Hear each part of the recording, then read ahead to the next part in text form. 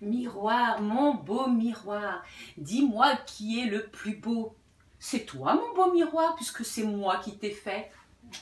Bonjour les amis, cette semaine je vais vous présenter pour ce mercredi une petite fabrication que j'ai réalisée, comme vous pouvez le voir, à partir d'un vieux miroir tout piqué qui se trouvait ici. J'en euh, ai fait quelque chose à mon goût. Vous voulez savoir comment j'ai fait? C'est très facile, allez on y va.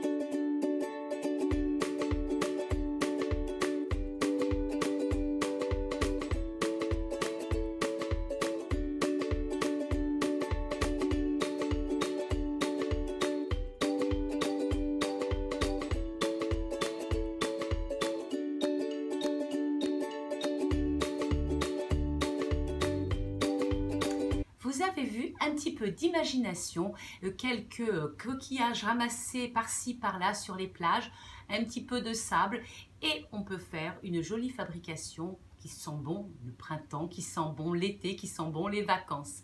À tout bientôt. Likez si vous avez aimé, partagez aussi. On se retrouve samedi pour une fabrication spéciale Fête des Pères.